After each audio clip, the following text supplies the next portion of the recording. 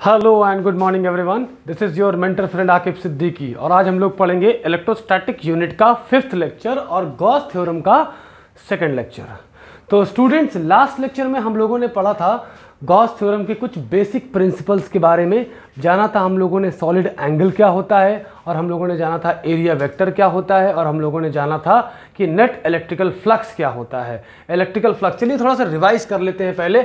हमने पढ़ा था कि जो सॉलिड एंगल है वो मेजर किया जाता है फोर पाइस स्टेरेडियन में मेजर किया जाता है, जो कि होता है आपका four pi omega is equal to four pi steradian and steradian is the unit of your solid angle फिर आता है आपका area vector that is always perpendicular to the surface always perpendicular to the surface फिर हमने जाना था electrical flux के बारे में। फ्लक्स के बारे में क्या था? कि it was your E dot D A और आपका ये E dot D A dot product convert हुआ था स्केलर में तो ई e डॉट ये वेक्टर में था, ये स्केलर में होगा तो E D A cos theta हो गया था, ये इसका रिज़ल्ट आया था नेट इलेक्ट्रिकल फ्लक्स का। ई ए कॉस थीटा है ना? और थीटा क्या था? Angle between electric field and area vector electric field positive की वजह से रेडियल एंड आउटवर्ड और नेगेटिव की वजह से रेडियल एंड इनवर्ड और area vector always perpendicular to the surface ये था पिछले लेक्चर का एक क्विक रिव्यू आज हम लोग पढ़ने जा रहे हैं बेसिक्स ऑफ़ गॉस थ्योरम तो गॉस थ्योरम कहती क्या है?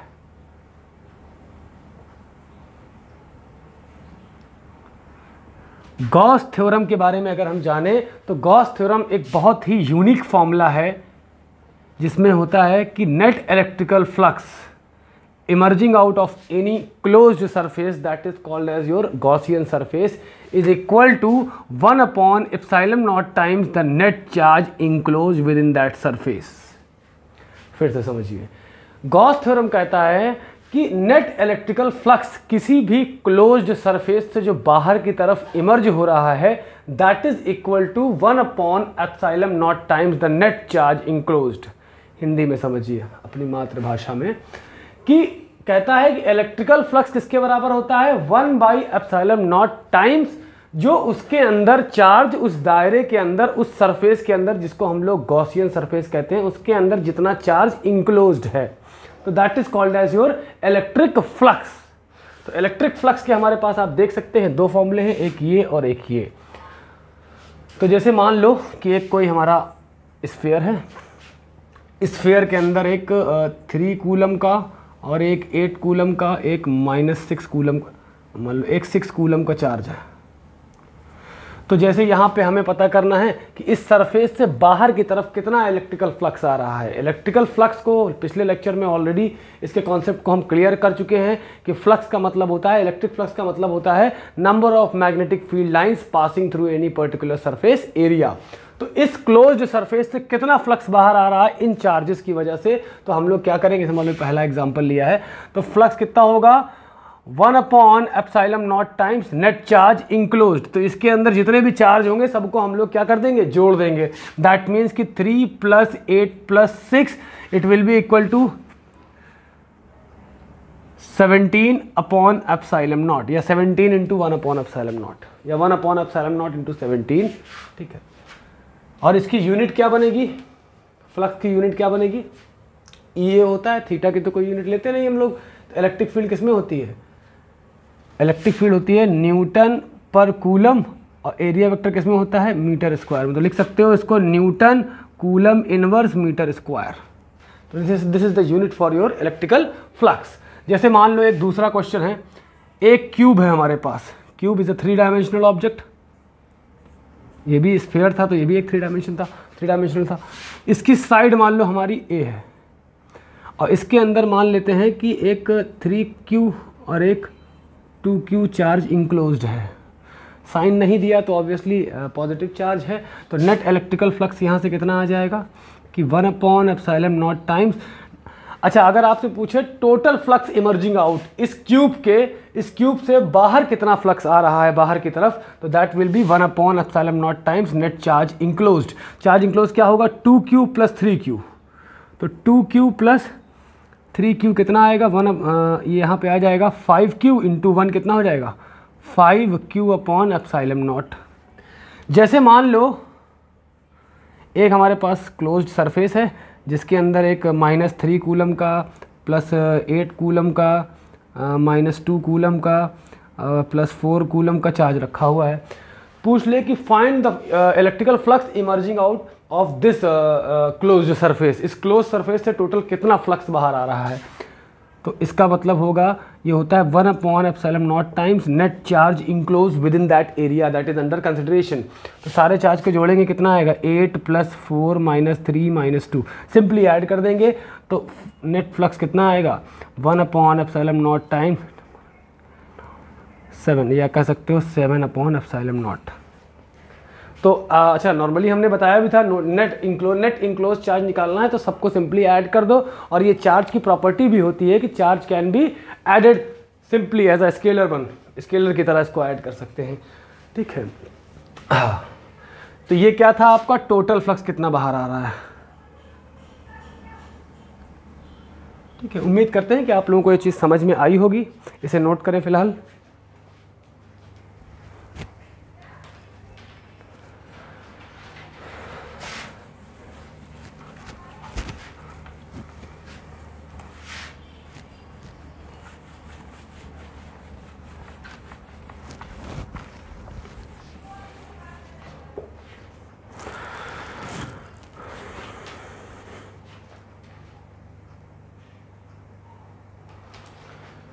हाँ तो चलिए हम लोग थोड़ा सा आगे बढ़ते हैं।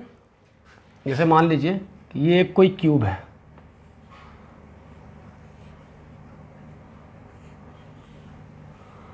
बहुत इम्पोर्टेंट क्वेश्चन है ये।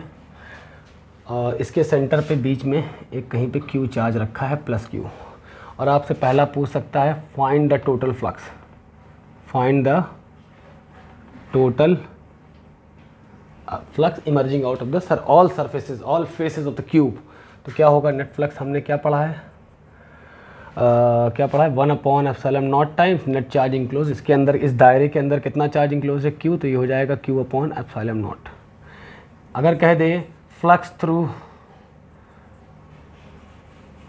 one face face of the एक फेस से कितना जा रहा है? ये बात देखिए गौर करने वाली है। मान लो इसका, इसकी साइड ए है, ठीक? है तो लेंथ ब्रेथ लेंथ और हाइट सब ए है क्यूब है ना ये? और ये भी क्या होगा? आपका ए होगा। तो अब कह रहा है कि एक फेस से कितना जा रहा है? तो थोड़ा सा कॉमन सेंस लगाना है। तो फ्लक्स थ्रू ये क्या है? टोटल फ्लक्स है?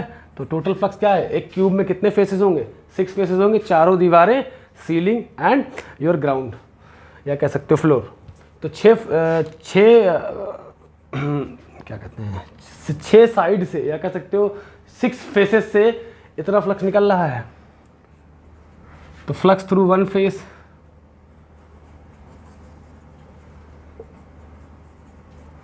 कितना हो जाएगा? क्यू अपॉन एप्साइलम नॉट या कह सकते हो वन बाई सिक्स या कह सकते हो q upon six epsilon naught ठीक?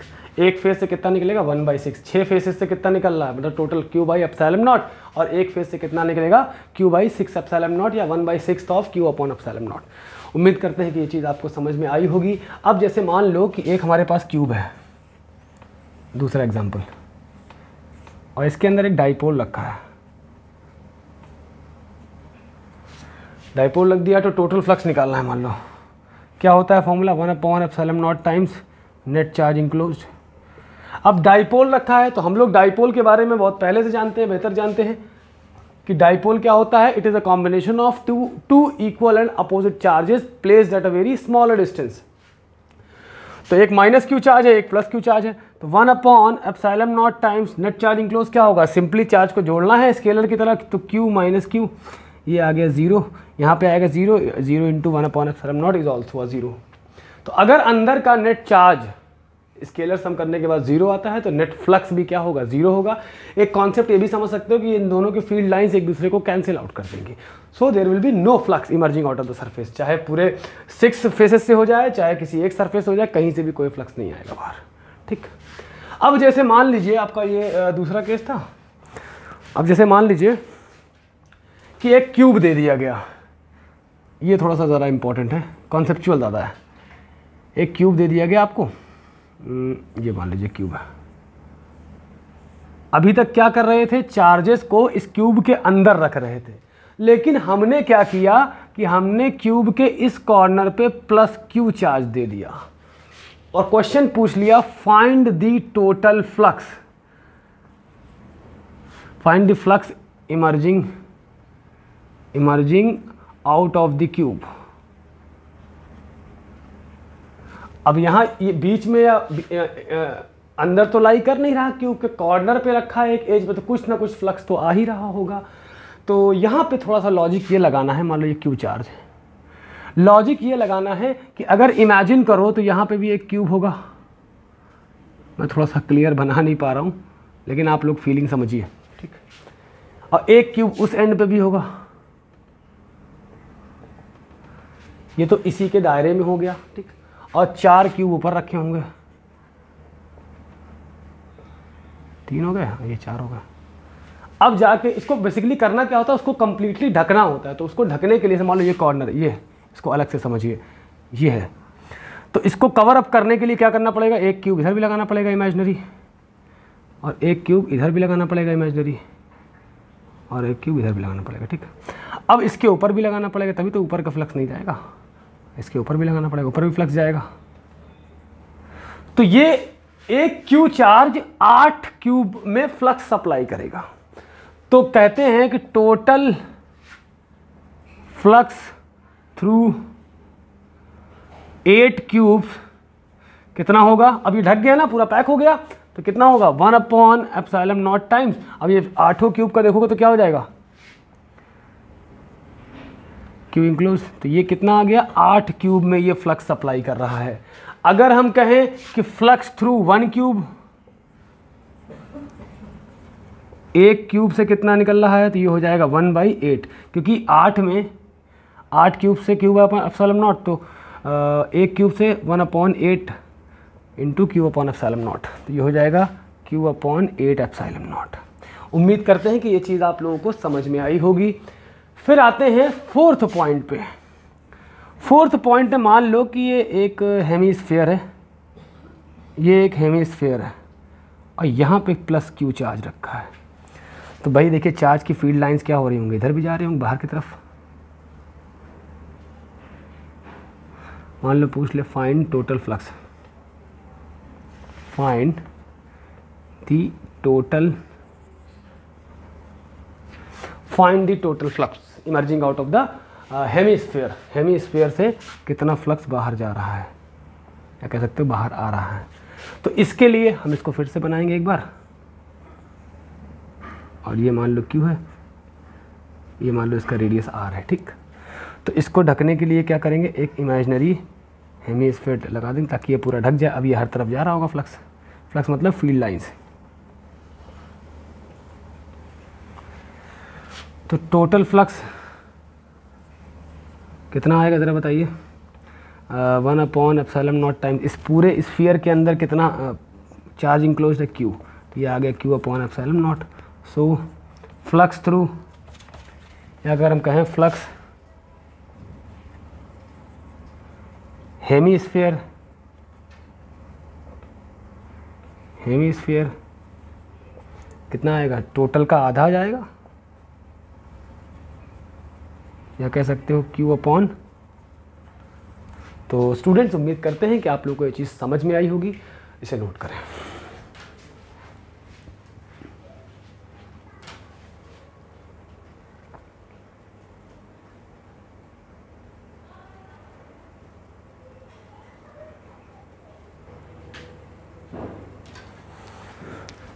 हाँ तो स्टूडेंट्स अब हमारा अगला टॉपिक है deriving Coulomb's law using Gauss theorem या यूजिंग गॉस लॉ। थ्योरम कह लो, लॉ कह लो। ठीक है? अब हम क्या करेंगे? कूलम्स लॉ को ड्राइव करेंगे। तो बेसिकली कूलम्स लॉ में ये वाला फॉर्मूला ड्राइव होगा। One upon four pi epsilon naught q by r square newton per coulomb ये किस लिए होता था? एक पॉजिटिव चार्ज है, कोई भी चार्ज है। एक मान लीजिए क्यू चार्ज है पॉजिटिव में पॉजिटिव पोलैरिटी का, और इससे आर डिस्टेंस पे किसी पी पॉइंट पे हमें इलेक्ट्रिक फ़ील्ड पता करनी होती थी। तो चलिए इसको गॉस थ्योरम से प्रूव करते हैं। जैसे मान लो, एक ये क्या है? क्यू चार्ज रखा हुआ है, और क्यू चार्ज से मान लो हमसे कहा गया कि भाई आप आर डिस्टेंस पे कोई पी पॉइंट लाई कर रहा है, वहाँ पे आप हमें इलेक्ट्रिक फ़ील्ड बताइए। ठीक? तो एक तरीका याद रख ली, रख लीजिए हमेशा के लिए कि किसी भी चार्ज से जितनी दूर पे या जहाँ पे भी जिस पॉइंट पे कहा जाए ना तो उस चार्ज को एज अ सेंटर मान के एक सर्कल बना दीजिए। क्या? जिस चार्ज से कितना मान लो किसी चार्ज से कुछ दूरी पे कहा, क्योंकि फ़ील्ड लाइंस इसकी जो होंगी ना वैसे बाहर की तरफ़ इमर्ज हो रही होंगी। इमेजिन करिए कि हर डायरेक्शन में फ़ील्ड लाइंस होंगी इसकी। इधर इधर इधर इधर इधर। थ्री डी में बात करें तो अंदर की तरफ़, बाहर की तरफ़, हर तरफ़ होंगी। तो जिस पॉइंट पे कहे, वहीं से एक सर्कल घुमा दीजिए सर्कल बना दीजिए। उस डिस्टेंस को एज अ रेडियस मान के। हमने क्या कर दिया? एक गोला बना दिया। इसको एक दायरे के अंदर आ, कैद कर दिया एक तरह से ठीक है? तो अब क्या हो रहा होगा? इस दायरे के अंदर एक फ़ील्ड लाइन ऐसे आ रही होंगी सब ऐसे आ रही होंगी बाहर की तरफ़ निकल रही होंगे।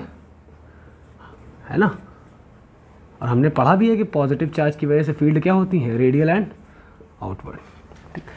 तो अब देखिए जिस पॉइंट पे कहा है उस पॉइंट पे हम लोग दो चीज़ देखेंगे। एक तो इलेक्ट्रिक फ़ील्ड इधर जा रही है इलेक्ट्रिक फ़ील्ड देख लिया।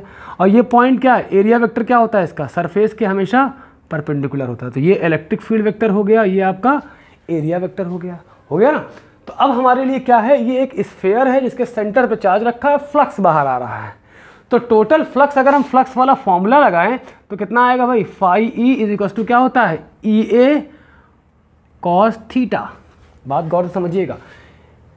क्यू चार्ज से आर डिस्टेंस पे किसी पी पॉइंट पे इलेक्ट्रिक फ़ील्ड पता करने को कहा गया तो हमने क्या किया? वहीं से एक सर्कल बना दिया।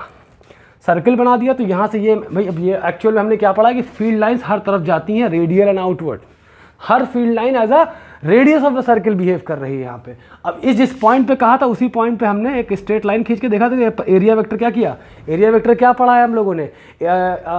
A vector that is always perpendicular to the surface अब सरफेस आपका ये है, और एरिया वेक्टर क्या होगा? यही तो होगा। और इलेक्ट्रिक फील्ड्स भी इधर ही जा रही है तो इनके बीच का एंगल कितना हो गया? ज़ीरो डिग्री यार थीटा कितना है? ज़ीरो डिग्री तो नेट फ्लक्स यहाँ से कितना आएगा? E A cos of zero degree तो फ्लक्स कितना आया भाई यहाँ से? ई ए क्योंकि कॉस ज़ीरो डिग्री क्या होता है आपका? वन होता है। यहाँ पे लिख दो। Cos of zero degree is equal to one ठीक? अब आते हैं बॉस वाले फॉर्मूले की तरफ़। बॉस वाला फॉर्मूला मेन फॉर्मूला जिसमें अच्छा एक बात और है कि हमने ये जो फॉर्मूला पढ़ा है ना फ्लक्स का, कि one upon epsilon naught times net charge enclosed इसमें चार्ज और परमिटिविटी के अलावा किसी चीज़ का ज़िक्र ही नहीं है। उससे मतलब ही नहीं है कि किस रेडियस का वो है स्फेयर है या किस एज का क्यूब है या किस लेंथ ब्रेथ हाइट का आपका क्यूबॉइड है, इससे कुछ मतलब नहीं है। It doesn't the electrical flux does not depend upon the physical appearance of the object या of the area in which the charge is enclose ठीक है? तो उसको बॉस वाले फॉर्मूले को लगाएँगे तो क्या होगा? One upon epsilon naught times net charge enclose होगा। इस दायरे के अंदर कितना चार्ज इंक्लोज है?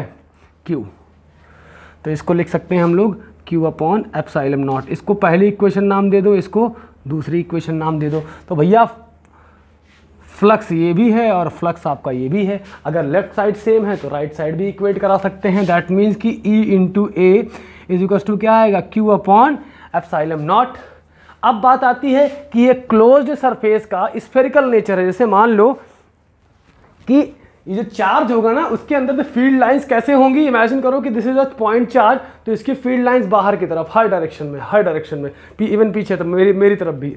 हर तरफ़ फ़ील्ड लाइंस बिखरी होंगी तो ये क्या बनेगा? एक स्फीयर बनेगा। क्या बनेगा? एक स्फीयर बनाएगा।